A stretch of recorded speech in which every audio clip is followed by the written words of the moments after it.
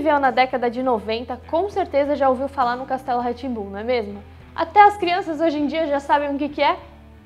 O Castelo Ratimbum, na verdade, foi uma série com 90 episódios transmitidos entre 1994 a 1997, que contava a história de Nino, um menino de 300 anos que vivia num castelo com seus tios Vitor, um grande inventor, e Morgana, uma feiticeira de 5.999 anos.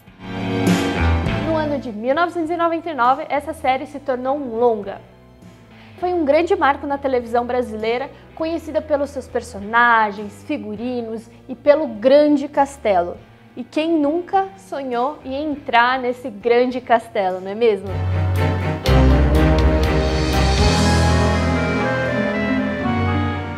O Memorial da América Latina traz hoje uma experiência na qual o público tem a chance de entrar no castelo igualzinho ao da série.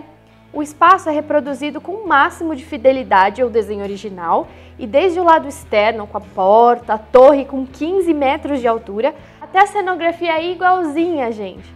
Vocês vão se sentir no próprio Castelo Ratimbum. O espaço vocês podem conhecer lá no Memorial da América Latina, que fica aberto de terça a sexta-feira, das 9 da manhã até as 8 da noite.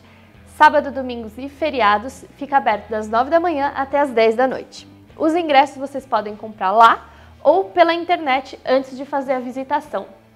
Espero que vocês tenham gostado, boa experiência para vocês e até logo!